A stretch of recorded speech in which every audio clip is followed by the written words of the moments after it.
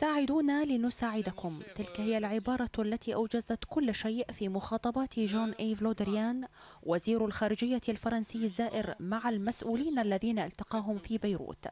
سوى أن تتمتها تقول إن لبنان عاجز عن مساعدة نفسه.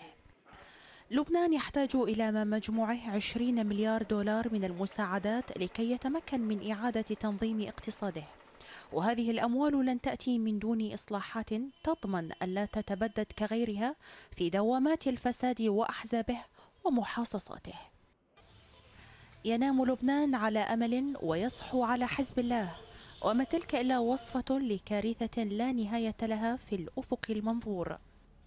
لودريان قال كل ما بوسعه أن يقوله وأكد دعم فرنسا للبنان ووقوفها إلى جانب شعبه منوها إلى أن الحلول موجودة في مقررات مؤتمر سيدر وتنفيذ الإصلاحات ضرورة كي يخرج لبنان من محنته.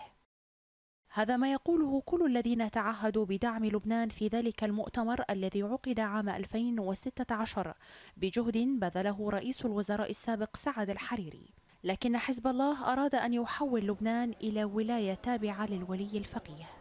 وأن يحتفظ بالسلاح لكي يهدد به كل الفرقاء الآخرين في لبنان وأن يواصل هيمنته على المعابر غير الشرعية وأن يواصل تبييض الأموال وتجارة المخدرات.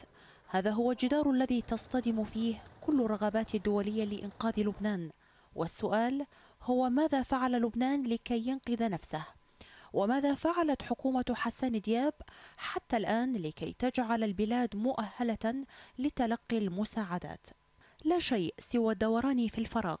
والرئيس ميشيل عون امتلك مقدارا من الجرأة لكي يقول لضيفه الفرنسي إن مكافحة الفساد تواجه صعوبات وعراقيل خصوصا مع وجود متورطين كثر يمارسون ضغوطا لوقفها.